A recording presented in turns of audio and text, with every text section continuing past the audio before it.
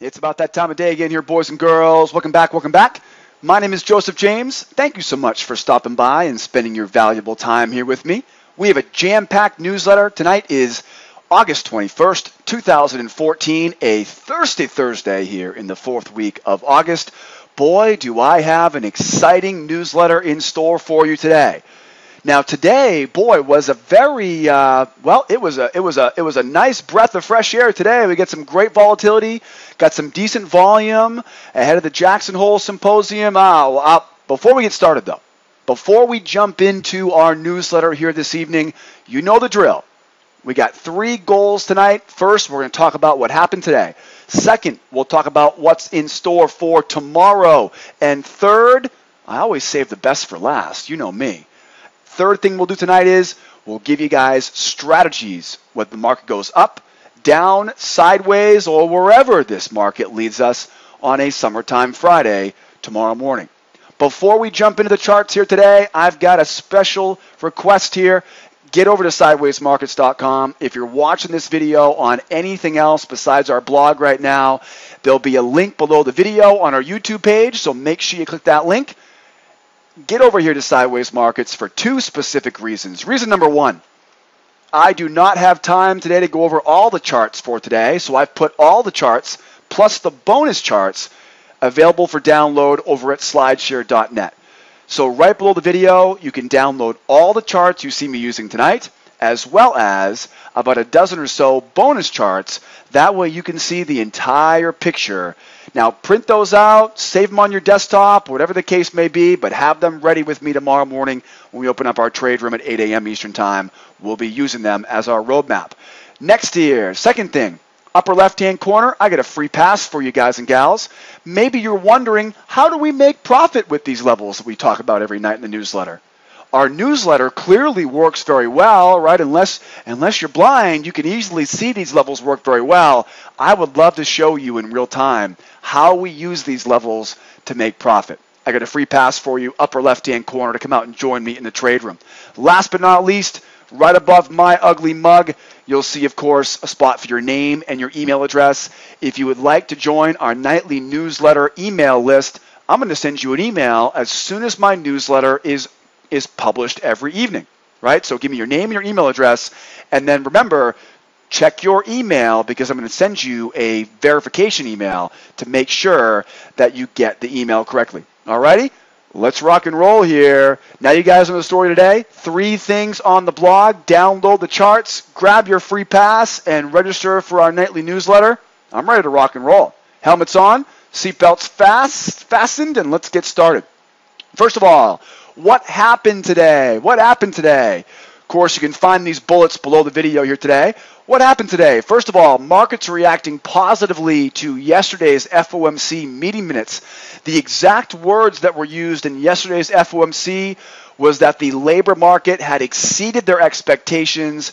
They went on to say more about some of the slack they were finding in the labor market, but bottom line though, yesterday's FOMC meeting minutes were very, very positive. We heard from Chinese manufacturing last night. I told you guys about this last night in the newsletter. Chinese manufacturing, boy, they're really hurting in Asia right now. They hit their three month lows with the fifth straight monthly decline out of China. Now remember, there's not much industry in China outside of manufacturing, right? There's not a lot there. So manufacturing is a big, big deal. And remember, when the, when when China catches a cold, the rest of the world here catches the flu right now. So Chinese manufacturing, that's one of the big that's one of the many reasons why you've got the US equities going higher and you've got the US crude oil going lower. We'll talk more about that in a moment. Jobless claims this morning, 8:30 a.m. this morning, we had jobless claims hit 7-year lows. That's right, 7-year lows. US jobless claims today. Ain't nothing but clear skies there. Another very big report. And if you went back to last night's newsletter, what did I say last night in the newsletter? Be looking for the big move at 10 a.m. this morning, right? That was my exact word last night. And that's exactly what happened today. We saw all the markets moving very well between 10 o'clock and 11 o'clock this morning, and it's all has to do with these two news events. Housing index, or should I say the, the uh, existing home sales, continues to show strength. The big number, though, today, which I wasn't expecting, I was expecting most people to be looking at the housing number. These both came out this morning at 10 a.m. this morning. We saw the Philly Fed, four year highs on that Philly Fed. So, very strong news came out this morning in the U.S. that pushed gold down to fresh two month lows. Crude oil did overnight hit the 92.50 area before bouncing off of that support. We'll take a look at crude in a moment. Russell pushed higher after it pulled back directly into our 45.5 buy zone. So, boy, strong news out of the U.S. Weak news out of out of Asia. Uh, relatively mixed news out of Europe overnight. Geopolitical, right? Remember, this time it's different.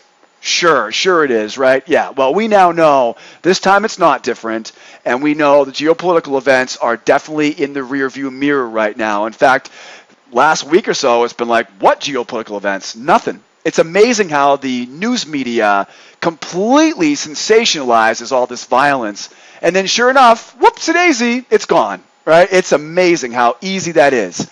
And then big, big news here, guys. All the central bankers gathered in Jackson Hole, Wyoming. Now, first of all, could you imagine going to local Denny's, right, in Jackson? I mean, I can't imagine. Is there a Ritz Carlton there? No, probably not, right? Maybe there is. I'm sure. I'm sure there probably is, right? They wouldn't have all of these big wigs from all over the world going there. But just imagine walking in, right? And you know, you're a local, you know, you, you don't know this stuff's happening right now. You're a local in Jackson Hole, you know, you own the coffee shop. You walk in and you got what? You got Jenny Yellen coming in to get a decaf, right? You got all of these central bankers hanging around Jackson Hole, Wyoming. I'm telling you this right now. Next year, we're doing a school of trade field trip. So so get everybody get the parents' permission form signed. We'll do we'll do a field trip to Jackson Hole, Wyoming for next year's economic symposium. I just want to see what color boots she's wearing. You know she's wearing boots, right? You can't show up in slacks. That doesn't work. In Jackson Hole, Wyoming, come on. I would love to see Draghi in a cowboy hat, right? that would be awesome. Bottom line though is Jackson Hole, Wyoming, the economic symposium is in full steam, and we got tomorrow all eyes and ears on our gal Janet Yellen. So, what a busy day today. Bearish news out of China, nothing but bulls in the U.S. right now. Gold pushing lower, crude pushing lower, Russell finally grabbing that bid and heading higher. And again, all eyes and ears focused on tomorrow's uh, uh, Janet Yellen speech on a summertime Friday. Now you know what happened today. As you can see here, starting with the mighty mini Russell. Now remember, fundamentals right now on these equities in the U.S. Think about the fundamentals right now. Right now on the E-minis, I don't care what you're trading. The euro is going lower. That's pushing the dollar index higher. With the euro going lower, long term investors only have one game in town. You're not going to invest in Asia right now. You're not going to invest in Europe right now, at least until they get their acts together. And so we know that the U.S. equity markets are one of the only games in town right now if you're a long term investor. That's by default going to keep these prices propped up. The next thing, of course, is this currency pressure the euro getting its you know what put you know where is pushing lower. Caught a little bit of a bid today, but we can definitely blame it on some profit taking. But the euro going lower by default is pushing that dollar higher. When we have when we have a strong dollar, I can now buy more stuff. If I can buy more stuff, that means that stuff now is in heavy supply. When heavy supply occurs, what happens? Prices go down. So therefore, a strong dollar means that buying equities is cheaper in relationship to each other, right? If my dollar bill is worth more, now it's easier for me to buy a stock, right? It's easier for me to buy an equity. Okay, so that's what's pushing these prices higher. That's the fundamentals that are going on right now. So now you know the fundamentals are definitely helping out the technicals here. I'll tell you right now, guys, the path to success is when you can blend together fundamentals with technicals. Now, I'm a pattern trader by, by trade, so to speak, right? So I trade patterns. I'm rule based. But boy, is it nice? It's nice and helpful though to have some fundamentals helping us out too, isn't it?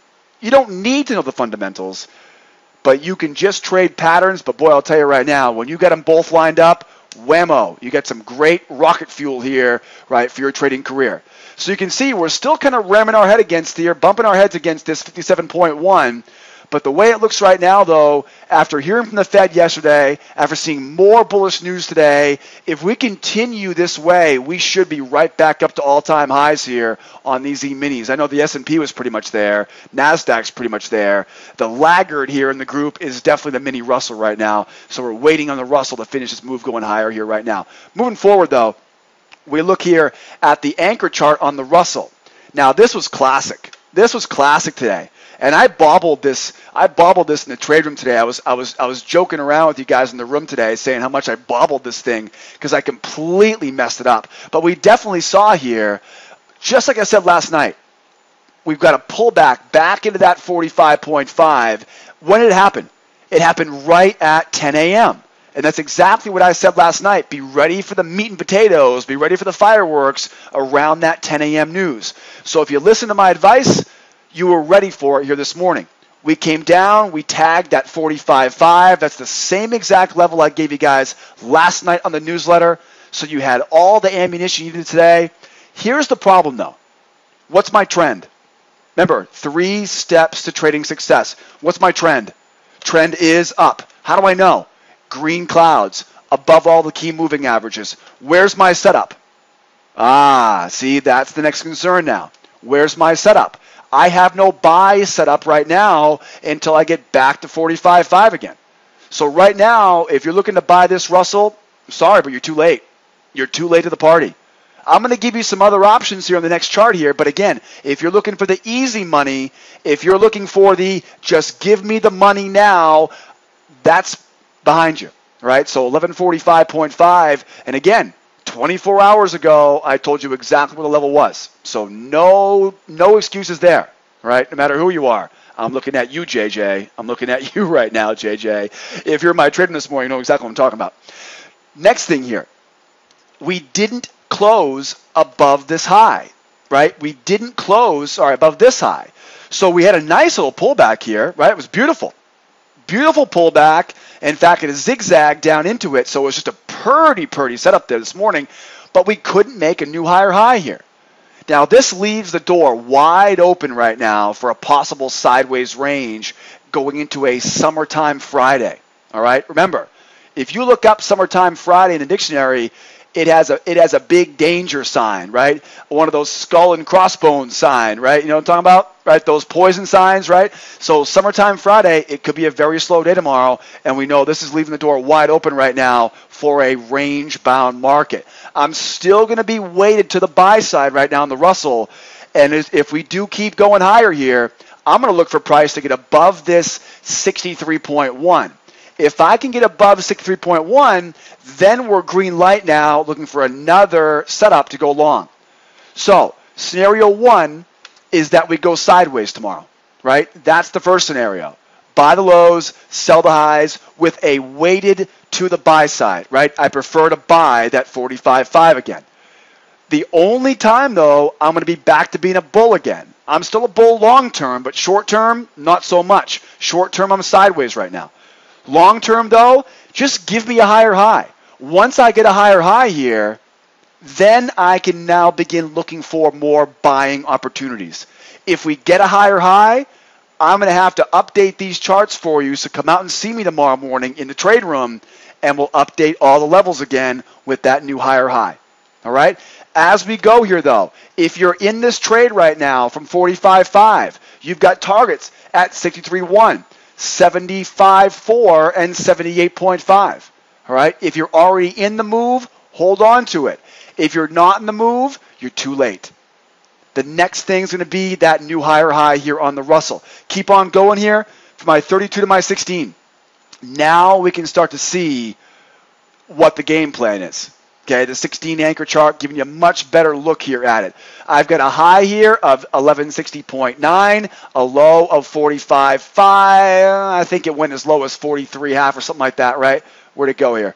Yeah, 43.7. So, you know, give or take a few ticks though, but I have another buy zone down here, 47.2, 45.6. I've got this trend line here as well. That's the low of the big long-term channel. What's my trend? Again, three steps to success. What's my trend? Trend is bullish, right? You can definitely tell. Green clouds were above the key moving averages. But where's my setup? That's the concern. The next buy setup is down at 45.6, right? 47.2, this area right here. Okay, like I said, if you missed the 45.5, you missed it. Right? No big deal. Trades are like buses. There'll be one coming around the corner.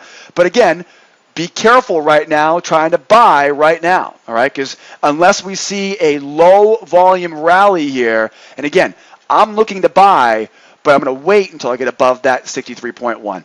All right? So, a couple scenarios here. Be on the lookout for a sideways range tomorrow. Buy lows, sell highs, with a preference to the buy side. If we go above 63.1, now I readjust. If we go higher, then we look for the pullback so we can buy it again. All right. If you're in my trade room tomorrow morning, I'll give you guys updated levels and real time entries on the Russell. All right. Be careful tomorrow. If it's going to be slow, like if, it, if it's as slow as I think it might be tomorrow, and we'll talk more about that summer Friday. We talk about news here. If it's slow tomorrow, we got to be careful. All right. Summertime Friday. Let's keep going. From the Russell down here to that funny yellow metal, the gold, and finally, Houston, we have a pulse. We've got the gold pushing lower here once again. Looking at gold right now. Think about the fundamentals here on that funny yellow metal. Less violence in the Middle East. A weak euro, a strong dollar are pushing gold futures lower. Okay? Think about this right now. We broke below the 1281. That was a real important level we talked about in last night's newsletter. We put we pushed through that 81 like a hot knife through butter. It was easy. Next level down below, 1265.8. You can easily see that here on the chart. By the way, we're now finally getting out of this middle, right? The middle is just asking for trouble on this wedge you can see in this daily chart, right? So remember, fundamentally speaking right now, gold is in trouble if you're a buyer. If you're a seller of gold, right, get ready for the party. 1265.8 is my next leg down. Keep on moving here from gold down to my anchor chart here on gold boy, if you used our letters, if you if you used our levels from last night's newsletter, we literally hit all of our targets on gold going lower here. So I've had a very successful string here of trades on gold over the past few weeks. And remember, don't take my word for it, guys. Go back and watch last night's newsletter. All right? I don't need to toot my own horn. My results speak for themselves. On gold right now, what's my trend? Where's my setup? Where's my entry pattern? What's my trend? Trend is down. How do I know? Red clouds below the moving averages. Where's my setup? My next setup right now is going to be symmetry, trigger zone, reversal line, channel. Right? So we got the channel high. We've got the symmetry resistance. We've got trigger zone.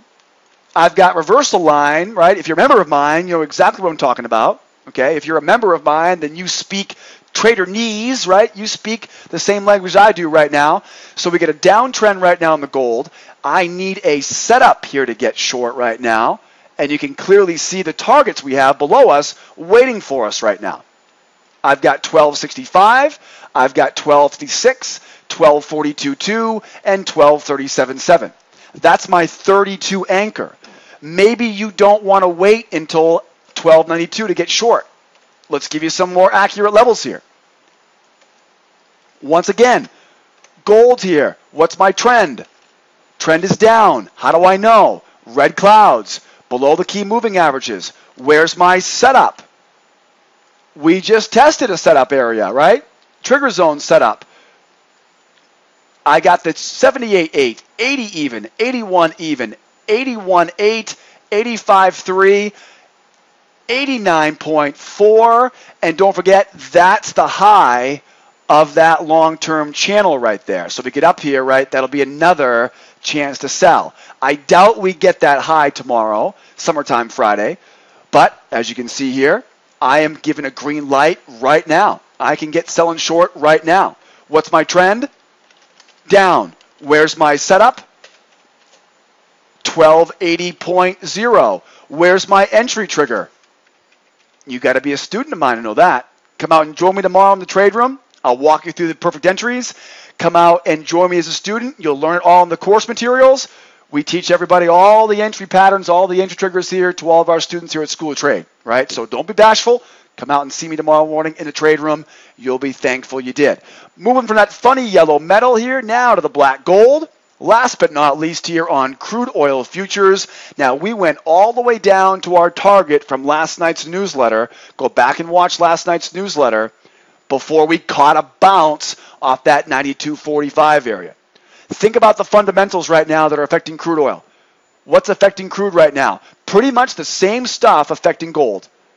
We got less violence in the Middle East, right? The poor news out of Asia is is obviously well, sorry, poor news out of Asia and euro, right, are pushing the currencies lower, making for a stronger dollar. Right, we saw a record high on the, I believe it was the yen pair today. So we know that we've got weak euro, right? We've got all the weak Asian currencies right now that are pushing that dollar higher. By having a stronger dollar, the price of crude oil is less as comparison. So combine the violence in the Middle East along with the currency pressures. Also, don't forget, this time next week we'll be talking about the end of summertime driving season. So again, if these sellers if these sellers have their way, we could be as low as 90 here by this time next week, if not faster. All right, so we definitely are seeing this price drop because of the pressures we've talked about already. As you can see, very interesting. We were able to hold today above that 92.98. So apparently, we're not quite out of the woods yet. Seeing it yesterday drop like that, I thought 92.15 was definitely going to be in the, in the uh, cards here. We went as low as 92.45 today. But as you can see, though, definitely in a downward trend here on the crude. Now, today was a great example on crude. I'm sure a lot of folks thought, ah, this is that rally we were talking about. No, this is not the rally you were thinking. This is simply profit taking at the lows, putting us into an area now to sell. Here's my 32 anchor. Same thing applies. I always do the same thing. It's three steps to success. What's my trend? Trend is down. How do I know? below the long-term moving average. Now, this is a clue right here. We went right back to green here very, very recently, short term. Right now, I'm still bearish long term. I'm going to talk more about how short term, though, we're starting to look a little bit neutral here right now in, long, in, in the short term. You'll see that in a second. My trend is down. Where's my setup? Right? Trend tells me direction to be trading in. Setup tells me when to be looking to participate in that trend. We go over this every day in real time in my trade room. Come out and see me tomorrow for more information. Again, where's my setup? We're right there, right? We're in the setup right now. Trigger zone setup, channel high setup, symmetry setup. I've got 94.30, 93.96, 94.60. You can see we pretty much went right to symmetry, right to the top of that channel. So guys, green light right now, hit the sell button. All we need now is, we've got my trend, I've got my setup. Now all I need now is that entry trigger. That's all I need. So entry trigger to the short side right now, that's all you guys and gals need here to pull the plug here on crude. I would say profit target at the low, Profit target here at 92.11, 91.51, 91.21, and there's your 90.66, right, for an adjusted profit target as we go lower. Again, keep an eye on that right now because you are, again, green light here for that short on the crude right now. You want more details? You got it. Now, this is why I said long term bearish, short term or neutral right now. Okay, short term neutral. This is a classic case here. And I want you to look back in time here, real quick. Last week, I want you to remember what happened last week. All right? Look what happened last week. We pushed higher. What happened? We get above it just before it turns, right? And then whammo, right back down. Does that look familiar? Just a little bit, doesn't it? Yep, just a little bit familiar. Remember, human beings are creatures of habit. Human beings trade the markets. Human beings built the buildings that house the exchange. Human beings developed the computers that execute black box, algorithmic, high. Human beings are responsible for everything. Okay? Until human beings are not responsible, the markets will continue to do what? Repeat themselves over and over and over again. Human beings are creatures of habit. We expect the same things to happen again. This looks like a possible carbon copy of what we saw this time last week. All right? Obviously, can't guarantee anything right now because this world of ours is cuckoo, right? A lot of crazy stuff going out there right now. But we definitely have every reason right now, again, green light here, to look for our shorts right now on the crude. All right, try to find your pants while you're looking for the shorts. That was a bad trading joke. I got targets here 92, 92, 92, 72, 92 even ish because we're going to go down to the low of that channel. Right, right now it looks like right about 92. Might be lower this time tomorrow. 91, 53, 90, 74. These are all of our easy targets now below us on the crude. All right, guys. So Wrapping up here on crude, short term, a little bit neutral right now, but we're still looking good for the shorts on crude right now. Gold is nothing but shorts. Russell, nothing but, well, Russell's a similar scenario to crude, right? We got the crude here in a short term neutral. Russell also a bit of a short term neutral right now as it goes sideways, which we talked about earlier already. All right? Now, you guys have strategies ready for tomorrow. What's my news for tomorrow? Ooh, man, get the kids out of the room, batten down the hatches. We get a summer Friday tomorrow, boys and girls. A summer Friday right around the corner. Now, summer Fridays are one of those days where we don't know what the heck's going to happen. It could be a great session. It could be a real quiet session. I'll tell you, there were times this week, uh, Tuesday, Wednesday this week, where it was it was as slow as it could have ever been. So that means tomorrow could be just like that slowest period on Wednesday morning we saw. It could also be very, very fast. Fridays have a weird way of getting people to do crazy things. We call it the Hail Mary traders.